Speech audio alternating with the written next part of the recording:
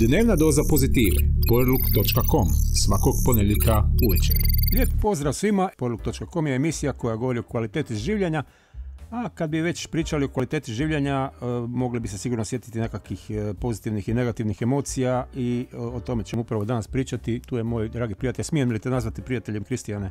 Molim te, bilo bi mi drago. Kristijan, kolega i, i kolega mi je i prijatelj kako mi das, je tako?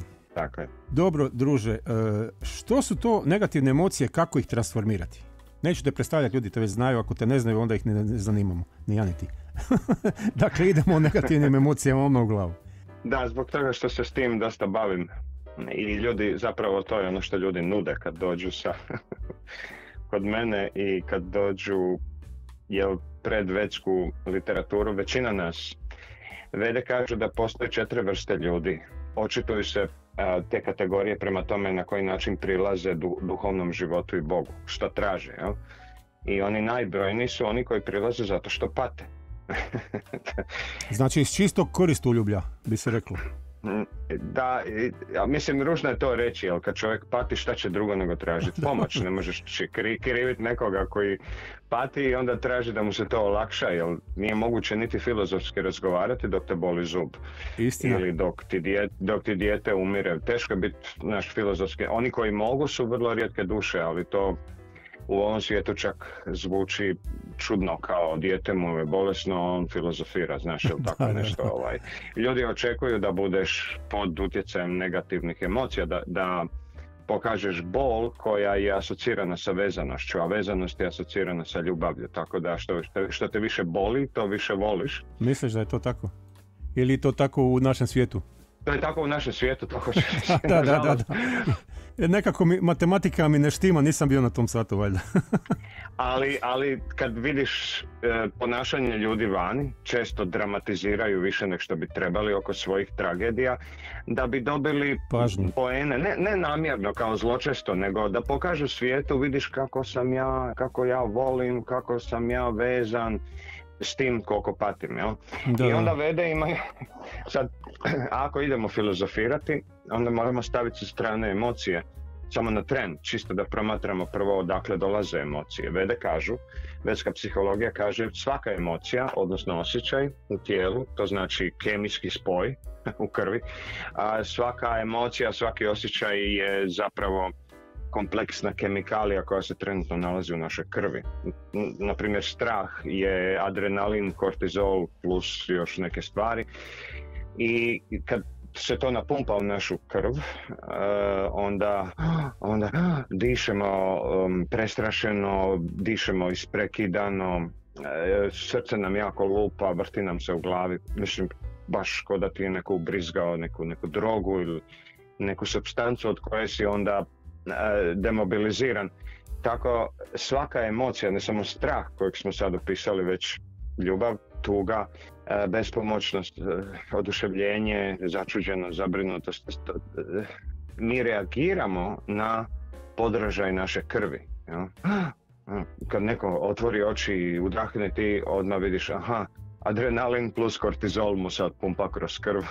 dakle, u principu, u principu se svodi na to da je naše tijelo jedna velika fabrika kemije. Tako je, jedna ke, vreća kemikalija kažu vede, jel, na jedan a, jednostavan način. Da, Ali da. Cijeli, cijeli univerzum bi mogli reći da je vreća kemikalija ili kako vede kažu to je jaje, oblik jajeta. I da, puno je materijalnih elemenata, to su sve kemikalija, tako mi to zovemo, vede kažu materijalni element. I bez da mi koristimo, eh, eh, mozak neće dati impuls organima da luče kemikalije ako on nije dobio impuls od podsvijesti. Dobro. Odatle dolaze komande, to je general štab. I sad dolazimo do problema. Da. Zato što je podsvjesno, nismo toga svjesni, znači komanda dolazi bez našeg znanja. Odnosno već je uspostavljen automatski kontakt.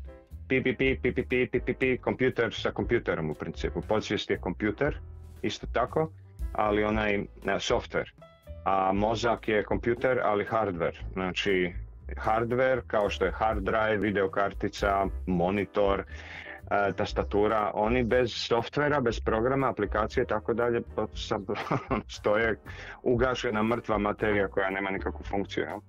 I sad podsvijest, znači sistemi joge, meditacije, molitve u svim religijama su uspost, e, specifično složeni na način, ako su ispravni, da osoba može ući u svoju podsvijest i promijeniti te automatske programe koje su stvorili u djetinstvu. Isključivo u djetinstvu. Nema tu teenage dani, traume kad sam bio student. No, no, no. Dobro, prosti, uh, misliš da je isključivo u djetinstvu ili su još nekakve tu i uh, nasljedne i druge uh, stvari posrijedi?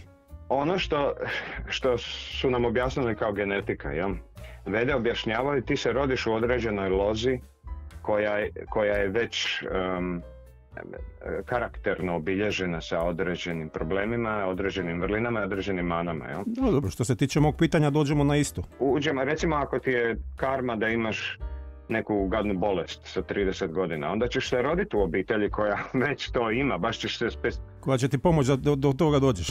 Svaka tjeles, svaki tjelesni poremećaj mora imati korijenski, nije samo tu boing, rupe na cesti ne nastaju samo tako, već nešto utječe na njih, kamioni, autobusi i tako dalje. Tako da bez obzira gdje se rodimo, mi možemo nadići tu karmu. Mi imamo taj naš horoskop, jel? zvijezde koje su bile postavljene i planete kad smo se mi rodili, ali to je samo za materijalni život. Duša ima svoj život. Znači automobil, tvoj automobil mora često ići na servis kočnica, moj često na servis, ne znam.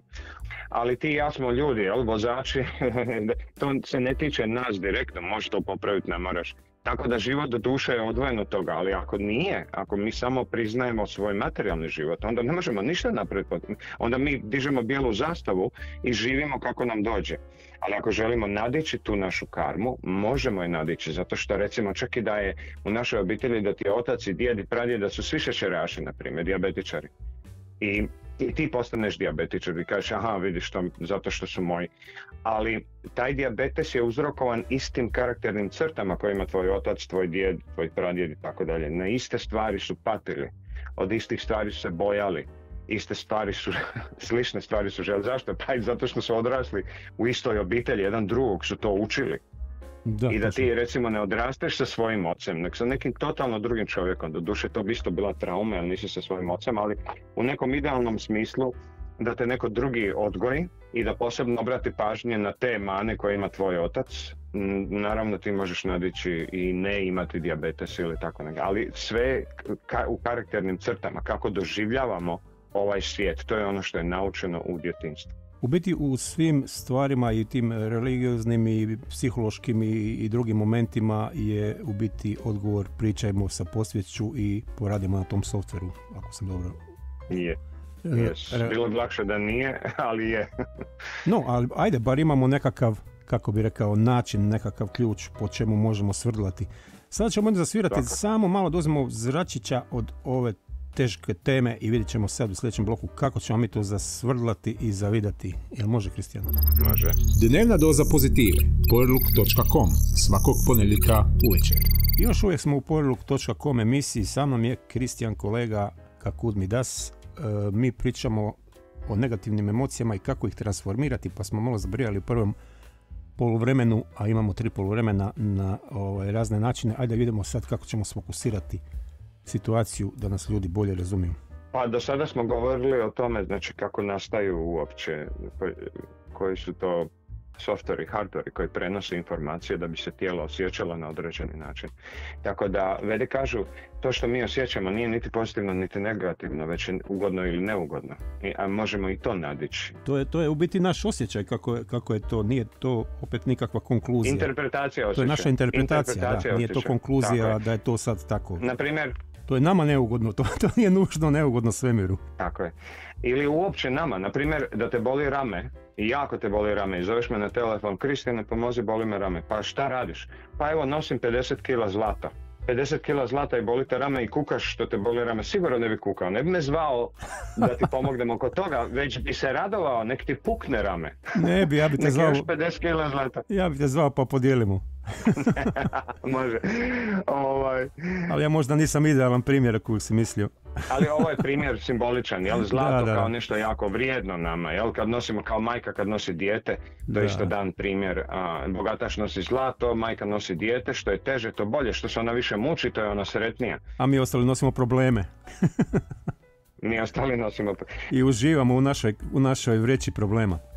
Je li je jedina koju imamo? Palo mi je na pamet kad si pričao u prvom bloku o onim kemikalijama da u biti zato ljudi trče za drogom, za tabletama, za okusima jer u biti to sve utiče na, na naš kemijski sastav i onda idemo u nekom, nekom pravcu, jednom, drugom, pa se prejedamo, pa se drogiramo, pa se tabletiramo, pa gledamo u krajnjoj liniji televiziju i što ja znam šta sve radimo. Znači to je ta kemijska mm tvornica, kako mi utičemo na nju, znači da u biti možemo uticati na nju, samo treba znati kako. Tako je, i nije čudno da ljudi posežu za kemijskim um, utjecajem, vanjskim utjecajem, jer šta drugo, inače moraš živjeti, mi živimo u svojoj vreći, ako ona nije ugodna, onda si baš na križu, baš i onda je taj katolički, kršćanski primjer izvrstan, adekvatan zapravo za život koji je odvojen od Boga. Ja? Odvojen od e, povezanosti sa izvorom, odvojen od bilo kakve duhovnosti. Onda nemamo znanje o tome ni ko smo mi, ni šta je ovo tijelo, ni zašto se ovdje živimo i zašto moramo umrijeti, što je nakon smrti, što je bilo prije rođenja. Ako osoba ima to znanje, onda može iskoristiti i to nije samo za mišljanje, naravno. Svako može, svaki znanstvenik i ateista i, kako bi rekao, agnostik može biti većki znanstvenik. Većki znanstvenik je onaj koji isproba ono što je, e, to Vedama piše, jel? na sebi, na sebi, ne na drugima, nego na sebi. I onda vidimo, znači Veda kaže da ne postoje stvarno negativne emocije, postoje samo neugodne ili ugodne. Tako ugodna emocija može biti izuzetno negativna. Na primjer, uživanje u heroinu je izuzetno ugodno, ali je jako negativno za naše tijelo. pa da ti pravo kažem, ne znam, nisam probao, ali vjerujem ti. nisam nija, ali to je, to je više simboličan primjer. Jel? Tako kažu. stvari u kojima mi uživamo. Ja? Slatko, alkohol, ljudi uživaju u tome i tako da. U tome se može uživati i tekako, ne kažem da, da svako će u tome uživati, ali kad uživamo u stvarima vidimo neko je ono sretan kad je pijan, a u stvari umire. Jel? U principu truje svoje tijelo. Tako da e, inteligentna osoba zna razlikovati te stvari. Inteligencija znači razlikovanje, da znaš razlikovati ovo od, od onog da, da znaš proći kroz vrata, a ne kroz zid. Jel? To je inteligencija. I stoga kad znamo razlikovati pozitivnu od ugodne ili neugodne i obrnuto, onda možemo bolje dati sebi dijagnozu i ne bježati od tog osjećaja. I, izuzetno je važno kada se osjećamo neugodno da, da ne posežemo za odmah za ugodom i rješenjem vanjskim, već da pitamo sebe e, koja, koja je ovo emocija i, i kako je ime, jel? kako je prepoznam kojim imenom i zašto je tu, što mi ona govori u stvari. Recimo da te neko povrijedi tako da ne dođe na vrijeme ti čekaš, osoba ne dolazi, jel? i osjećaš se povrijeđen i zbog toga se ljut zašto ja ovdje moram stajati? Sad ja pitam, ok, zašto si ljuti? Zato što me ta osoba omalovažava, jel? Aha, znači ne osjećaš se ljutim, nego se osjećaš manje vrijednim. U ovoj situaciji se osjećaš manje vrijednim i ta osoba ti je okidač, njeno ponašanje ti je okidač. A zašto onda ljutnja? Zašto se ljuti? Zašto ne kažeš, o, ja sam sad manje vrijedan? Zato što je taj osjećaj niže vrijednosti zapravo ponižavajući i mi liječimo automatski tu glavnu emociju koja je puno snažnija sa recimo ljutnjom, tugom, uvrijeđenošću. Ono, ono što je lakše menadžirati kao, kao odrasla osoba. Naljutiš se na nekoga, opsuješ mu sve po spisku i tako riješiš sebe onog osjećaja poniženosti, malo ga zakopaš unutra da se ne vidi. Tako da imamo vanjsku emociju, imamo onu ispod emociju. Vanjsku osjećamo, ljut sam ili uplašen sam, ali zašto? Šta te plaši? Šta te ljuti? Koji osjećaj te ljuti? Koji osjećaj te plaši? Koji osjećaj te šta god je, uznemiruje, jel? E, čega se bojiš? I tu moramo ući u mentalitet djeteta, ne odrasle osobe. to je ono što je problem da ljudi su zaboravili kako se osjeća jedno dijete, a tada smo dobili sve te programe reagiranja, tako da to je nešto što sa učiteljem trebamo proći. Možda je tu samo potrebno reći, sad mi pada na pamet, da u taj osjećaj treba ući iz pozicije odrasle osobe koja priča s tim djetetom, jer obično mislim da, da ljudi se upravo stave u poziciju tog djeteta i ponovo proživljavaju te sve stvari bez nekog suda koja bi odrasla osoba rekla aha to je tako. ako kužiš što sam Točno, upravo si, upravo si dobro rekao, zato moja druga knjiga govori o tome da se treba postaviti kao duhovna duša, ne samo starija osoba, nego da. besmrtna osoba. Jer jedino besmrtna osoba može riješiti smrtne slučajeve, da tako kažem. Ne možeš nikome pomoći i postati besmrtan ako si ti smrtan. Ono, kako možda taj blagoslov? Ne možeš nikome dati 100 eura ako ti imaš 20 eura. Osim ako si banka, oni to znaju. oni to znaju, da. Ali to je druga priča. A, a, e, ali u, u nama postoji cijela banka, cijeli jedan resurs čarolija, da tako kažemo. Znači, utjecaj na naše tijelo koje je do sad bio kompletno automatski, nikad ne znaš kad ćete nešto zadesiti, kako se izvući iz toga, jel imam tabletu, gdje je apoteka, moram kod doktora. Um, sada, znači, imamo e, onu prvu pomoć, da prvo vidim jel ja to sebi radim. Ili je to nešto što moram ispaštati po karmi, ali opet i ako je po karmi, mogu ja to nadići. Većina ljudi će reći, o, ne mogu, ne znam, ali ako znaš što sam ja u svojim knjigama opisao, točno proces što napraviti, ali iako sam ga sad izložio. Znači postaviti se kao duhovna duša, ja sam vječno živo biće, sad sam trenutno u ovom tijelu i tijelo mi daje signal, znači kroz kemiju mi tijelo daje signal da su moje misli negativne. Negativne emocije, negativne misli.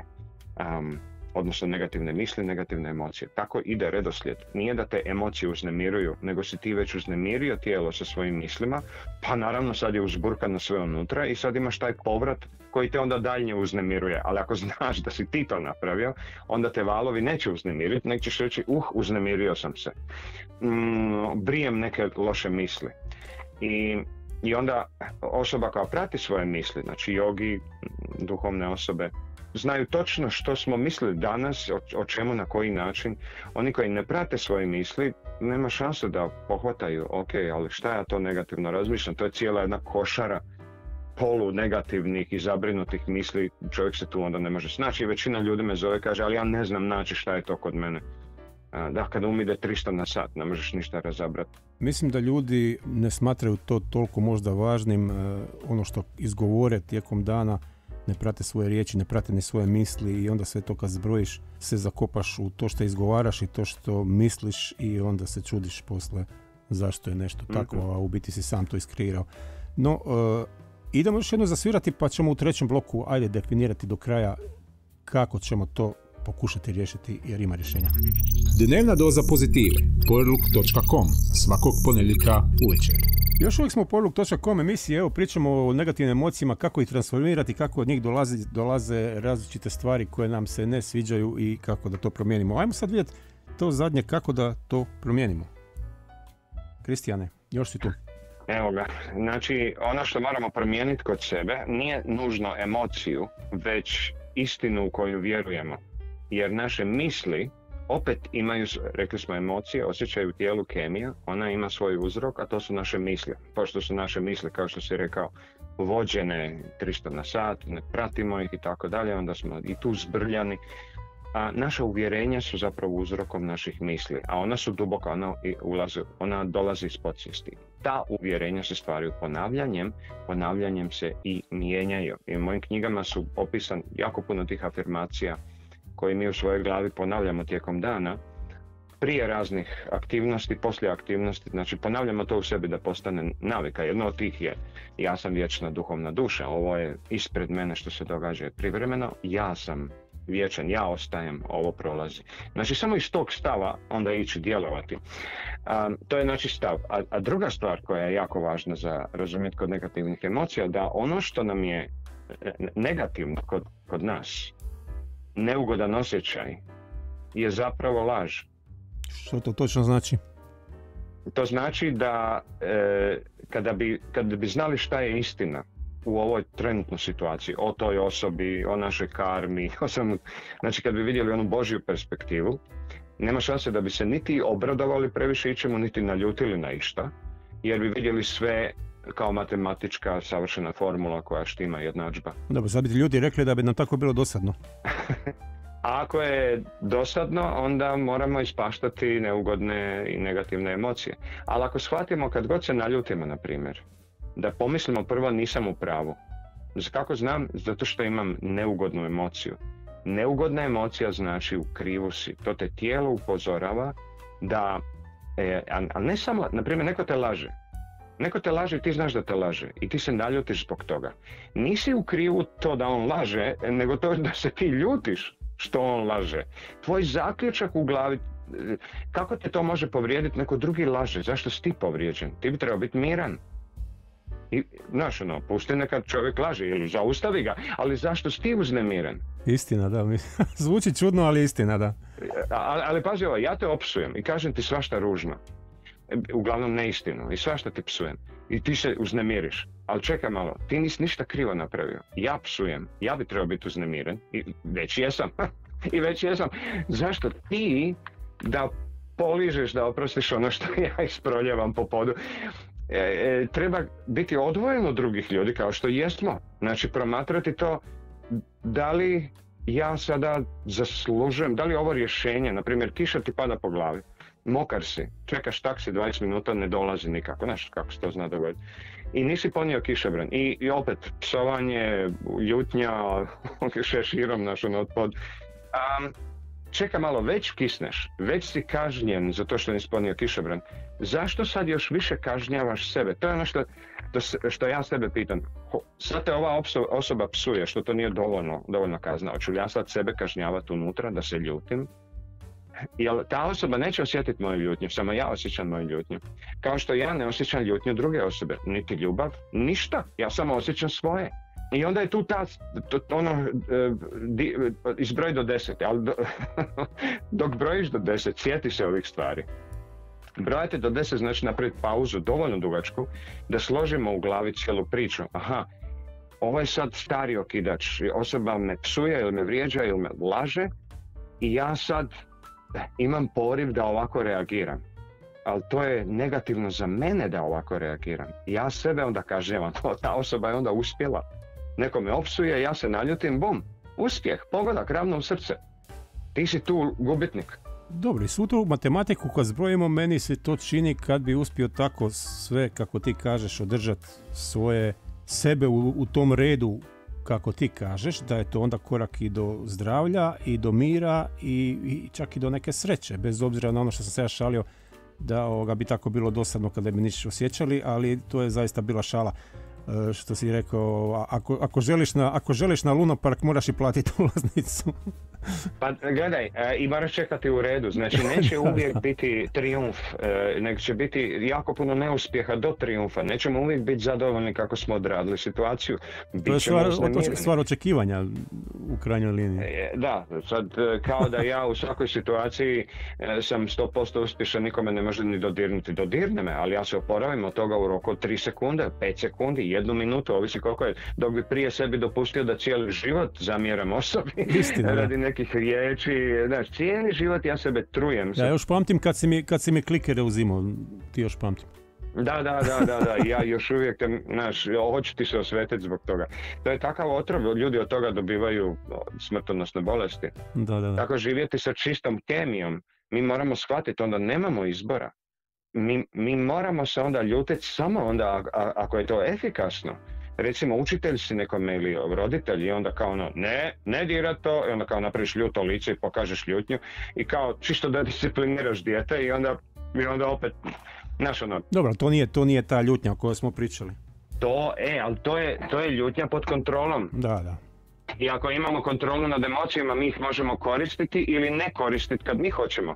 Ali ako se naljutimo, a nismo htjeli i ne sviđa nam se taj osjećaj, mislim kome se sviđa, moraš biti sad mazohista, a, onda znači da nemaš osjećaj pod kontrolom i da se na nivou djeteta, ili vede kažu, wow, djeteta ili životinja, ista stvar. I onda, I onda te ljudi mogu manipulirati vrlo lako. I onda ja znam točno koju riječ da kažem, da, da, da te demobiliziram ljutnjom, tugom, strahom i tako dalje. Čuli ste, e, moj današnji sugovornik Kristijan kolega inače e, radi dobra predavanja koja su doslovno po cijeloj Hrvatskoj i Sloveniji svugdje te ima. Inače ima i dobrih knjiga koje je napisao. Evo moram te malo hvaliti, da nemoj se samo pokvariti, nećeš. Hvala. Sve, sve što si, zapamti sve što si rekao u emisiji, sad diši, dobar budi i nemoj se kvariti.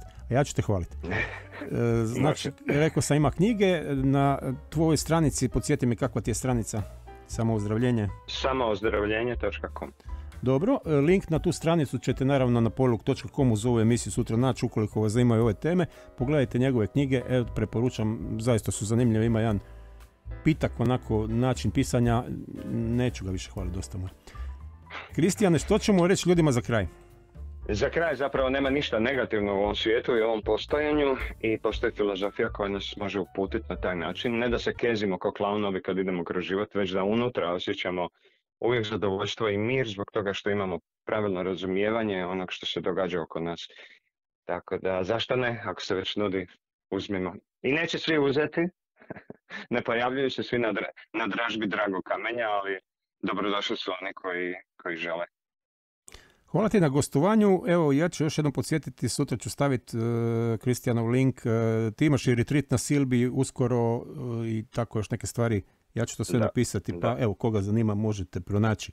Hvala ti na ovom lijepom razgovoru, baš mi bilo ugodno, nekako mi brzo prošlo ovo. Dnevna doza pozitive, poruk.com, svakog ponedjeljka uvečer.